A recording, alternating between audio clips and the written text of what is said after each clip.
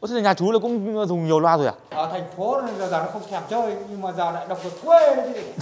Cứ nhà mày có nhà tao phải có. Ê, Con gà tức nhau tiếng gáy Thà cứ cục ta cục chắc đẻ trứng vàng có khi lại hay. Mà đúng là loa này cháu bán về quê nhiều hơn bán ở phố thật. Hôm qua mình thấy mẹ nó quảng cáo các loại rồi. Có cái hai cái loa nó căng. Loa đấy chắc là của bà Tân sản xuất ra đấy. không phải. Siêu to khổng lồ phải không?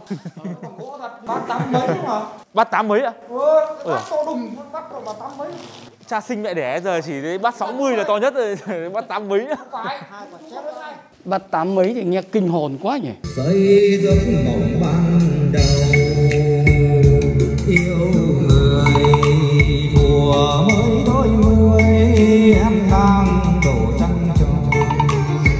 Từng ngày qua phố áo em trắng cả đường về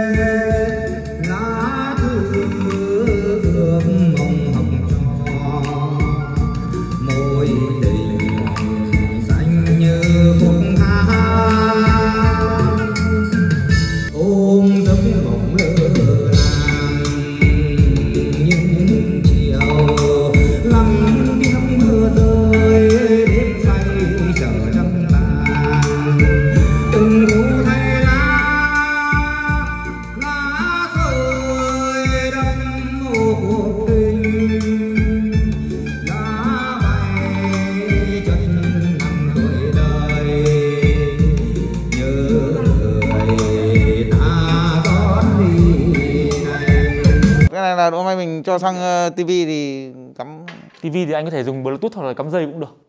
TV nhà anh là đời anh mua năm bao nhiêu? rồi thì giờ chạy qua cái đầu mạng hỗ trợ thôi bây giờ cháu cháu xem là cắm sang Vâng, thì tí cho kết nối TV cho. Cái này là bảo hành một năm ạ. Có lỗi gì là mọi người cứ gọi à, vào số gọi điện thoại. xuống ngay á vì là trục chặt là gọi xuống ngay đấy Cái này thì bọn cháu không xuống được mà là cái này bọn cháu sẽ đổi luôn cho chú. Ví dụ như là lỗi cái thớt vang thì đổi vang, mà lỗi mic thì đổi mic, lỗi đẩy đổi đẩy. Chú tháo cho chú thay vào cái xong ngay mà. Chứ còn cái này bọn cháu không sửa mà hăn hãng là đổi luôn. Sửa nào chúng mày sửa nào được công ty Không biết tâm lý khách hàng là không muốn chọc máy gì cả. Lỗi gì đổi cái đấy.